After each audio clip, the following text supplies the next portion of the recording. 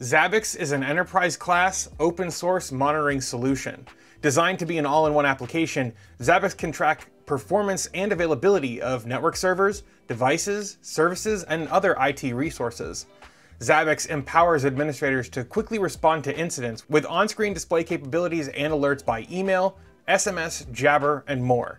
Users can also collect, store, manage, and analyze information received from IT infrastructure. Actively used by small to medium businesses, as well as large enterprises across all industries and in almost every country, Zabbix has a robust community driving its continued development. Today we're going to deploy Zabbix through the marketplace, and then we'll configure a client on another compute instance and connect them together. Finally, we'll set up our own reporting to ensure critical data points are tracked and that we get alerted when something goes wrong. But before we get started, I wanted to let you know that you can follow along with this guide using the link below. The link will get you $100 in free credit so you can try this out for yourself. Okay, let's get into this. All right, the first thing we're gonna do is we're gonna go up here to create and we're gonna go down to marketplace. Then we're gonna search for Zabbix here. There it is, let's select it and let's scroll down. Now what we're gonna do is create a limited sudo user. Uh, I'm just gonna use Zabbix and I'll just fill in my email address here. Then we're gonna create a Linode API token. So let's click up here on our username and then we're going to select API tokens. We're gonna create a new token. We don't want to give this token any more privileges than it needs, so let's actually select no access for select all, and then we're going to just check the domain box. Then let's provide a name here we'll just type in Zabbix. And then we're gonna hit create token. Now let's copy this personal access token to our clipboard and back in the other tab, we're gonna paste that API token into this field. Then for our subdomain, I'm gonna put in Zabbix. You can set this to whatever you'd like. Uh, and then for domain, I'm going to put in heavyelement.me, which is a domain that I have access to. You'll want to use something that you actually own. Uh, and in order for this to work, Linode is going to have to be set as the name server for your uh, domain name that you're using. If it's not, there are manual ways to configure this stuff. You don't have to put in anything under the advanced options here. However, that's outside the scope of this video because your name server and DNS configuration is going to be wildly different than others. Now we're gonna set a friendly name for our Zabbix server. We're just gonna call it Zabbix. And then we're gonna select uh, Newark, New Jersey, just because that's closest to me geographically. I'm in the Northeast United States, uh, so Newark makes sense. Uh, let's scroll down here and we're gonna select a two gigabyte shared CPU plan. And then you can give your Linode any name you want. I'm just gonna call mine Zabbix here. Provide a strong root password. This is what you're gonna use to initially log in to your machine. And then we're gonna go ahead and hit create Linode down here. Now this process is going to take a few minutes, so while you're waiting, you should take this opportunity to hit that like button and maybe subscribe to the Akamai developer channel. It really helps us out here, and if you're enjoying videos like this, uh, you should definitely get subscribed so you don't miss the next one. All right, while that's provisioning, we're gonna create another uh, Linode. We're gonna set up WordPress.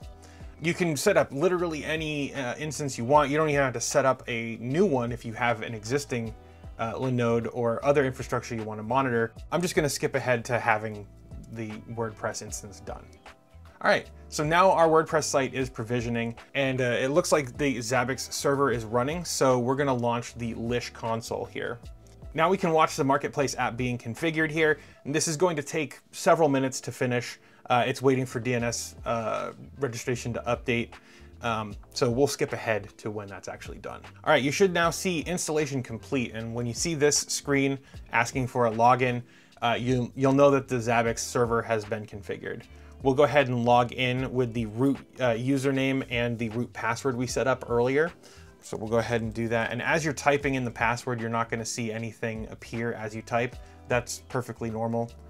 Now you can see we're prompted with uh, a greeting. It says Akamai Connected Cloud, Zabbix Marketplace app, and we have our app URL, which is the domain that we specified.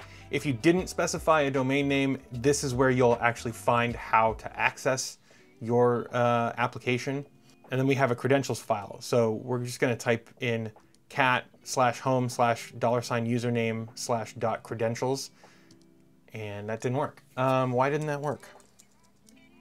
All right, uh, we logged in as root, so we don't we, we don't need to use the username here. You can use whatever username you set up uh, as the sudo user. So now we have uh, the credentials that we need to access the Zabbix front end. So let's go ahead and copy the Zabbix admin GUI password here. And we're going to go to um, zabbix.heavyelement.me, which you know you're, you're going to use your own domain. And we're going to put in admin with a capital A, and we'll paste our password. And there we go, we're logged into our Zabbix server. Now we're going to turn our attention to setting up our other server uh, to uh, that it reports to Zabbix. Let's log in via SSH because that'll make things a little bit easier. If you're on Windows, you can open up PowerShell. If you're on Mac or Linux, you can use uh, Terminal. You're to type in SSH space root at and then the domain or the IP address that you use to log into the dashboard. And then we're going to run this command. This is going to synchronize any updates that we might have, uh, and it's going to let us um, run some more commands down. Now let's run this command. Um, this is going to be down in the description. The command will download the Zabbix client. If you're watching this more than like three to six months after the video went live, then you should double check that the Zabbix server that you're running and the client that you're downloading with this command are the same version. If they're not, then you're gonna run into some issues. If not, it's just not gonna work at all. Now let's install this package that we just downloaded with the previous command. Uh, dpackage-i will install the package that we just downloaded. Now we're gonna run sudo apt update-y, and then this is going to update our package cache. Then we're gonna run uh, sudo apt install zabbix-agent hit enter. Boom, look at that. All right, let's do sudo systemctl restart Zabbix agent. And let's do sudo systemctl uh, enable Zabbix dash agent. Now we need to generate an encryption key so that the server and the client can talk securely with each other. So we're gonna do sh uh, dash c, and then in uh, quotes, we're gonna say OpenSSL rand dash hex 32 slash, I'm sorry, uh, right angle bracket. And then we're going to uh, write that result into slash etc slash zabbix slash zabbix.psk. And we make sure we close the uh, quote. Hit enter, and now if we cat slash etc slash zabbix slash zabbix.psk, uh, it will show us what was just generated for our public key, our pre-shared key, I should say. There we go. That's our encryption key, and we're gonna come back to this in a moment. So now we've got the Zabbix client set up, but it needs to actually be configured in order to point it to the Zabbix server that we set up uh, in the previous step. So let's type in nano slash etc slash zabbix slash zabbix underscore agent dot conf then in here, we actually need to find a few values we need to modify.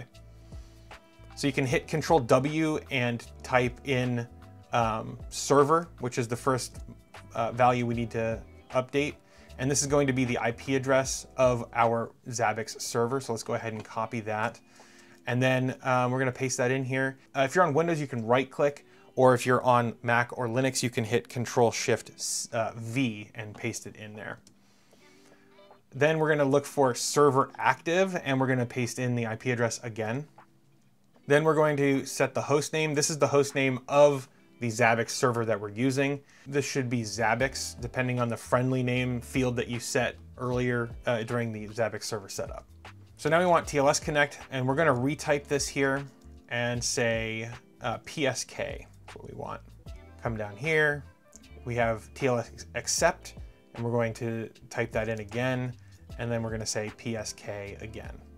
Let's scroll down a little bit more and find TLS PSK identity, and we're going to type in um, PSK001. This should be unique between every uh, client that you have connected.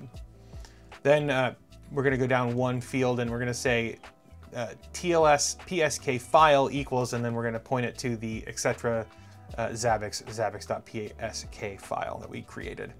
Then we should be done. Um, that should be everything we need to do here. So we're gonna hit Control X and then we're gonna hit Y on our keyboard to save. Uh, if you've made a mistake, you can hit N for don't save or uh, control C to cancel. So now we're gonna type in systemctl restart zabbix-agent. So now that we have our uh, WordPress server set up, we need to tell our Zabbix server how to actually communicate with the Zabbix agent on the WordPress server. Lots of jargon here, I apologize. So we're still logged in, so let's go over here to configuration and click on hosts. And then we're gonna go up here and hit create host. So now let's type in our host name and that's gonna be WordPress in this case.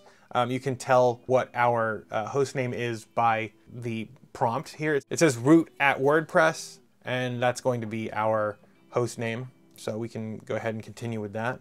Say WordPress. For templates, we're gonna type in Linux and then we should see uh, Linux by Zabbix agent. That's the one we wanna use. Uh, then we're going to type in a group. This can be anything. Uh, we're just gonna say remote. Let's go ahead and click add and hit agent. And you can either use the IP address or the domain name here. Uh, if you use the domain name, you need to update this button. So we'll put in our IP address and then let's go over to the encryption tab. And this is where we're gonna use the uh, output from the command we ran earlier, cat slash etc slash zabbix slash zabbix dot psk. so we're gonna check this box here and uncheck no encryption. And then for PSK identity, we wanna use PSK001. That's the name that we specified in the configuration file on the client. So we're gonna type that in here, PSK, uh, PSK001. And then the PSK field is going to contain the contents of the zabbix.psk file that we created when we're generating our encryption key. All right, let's go ahead and click OK. And now let's wait for the servers to establish communication with each other. And this is gonna take a few minutes, um, but once it's done, you should see a, a, green activity light here. Oh, and it's red, okay. Uh, get value from agent failed, cannot connect to whatever uh, interrupted system call. All right. So it looks like there's an error. So I'm gonna run this command here uh, to see if uh, the server is making a connection with the agent. And it's gonna hang here while we while it waits for incoming connections. We're gonna restart this process and see if we're actually getting a, a message back here. Oh, and I forgot to set connection to host to PSK. Well, that might be the issue right there. All right, so it's gonna start trying, and there it is, it's connecting. So we're getting packets, all right. Um, all right, so the problem was that the port was closed on the client. So on our WordPress server, we're gonna type the command ufw allow 10050, and that's going to open up the port in the firewall to allow Zabbix to communicate to this device. And there we go, literally, wow, it was that easy uh, to fix it. So we just ran that command on the WordPress server and that was an easy fix, huh? All right, now we have everything working here. So now we can see the available system memory. We can see the CPU soft IQ time. Uh, we can see free swap space. We can see average load time here. Uh, number of running processes. Cool, system uptime. Yeah, great. So now we have all these insights into our machine. So it's pretty cool. The, the Linux Zabbix agent has a bunch of preset metrics that it pulls in by default, but we can actually set up our own. So let's do that right now. So we're gonna go over here to configuration and we're gonna click on hosts and we're gonna click on items. And then we're going to go ahead and click on create item up here. Now we're gonna put in HTTP connectivity and for uh, type, we're gonna leave it at Zabbix agent. For key, we're going to type in net.tcp.service and we're gonna do an open square bracket, HTTP, comma, and then an IP address, comma, 80, close square bracket. But for IP address, we actually have to set this to the IP address of our Zabbix client. So what this is gonna do is it's going to make a TCP request from the client to the IP address we specify. And uh, once we get results back, uh, it's going to tell us whether or not uh, it worked. So a successful request is going to return as one and a failed request will be zero. And we can set this to update interval. We can modify this to whatever we want. I'm just gonna have it check every minute to make sure that it's uh, able to access port 80 on its local machine. And we're just gonna put in a description here, monitor HTTP connectivity. So now we have our new metric that we're tracking. And uh, if we go over here to monitoring and we click on latest data, we can type in here HTTP, and there we go. We have the HTTP connectivity. If we actually click on the name here like this, and we go to open, uh, you can see that we have one data point. It's pretty neat.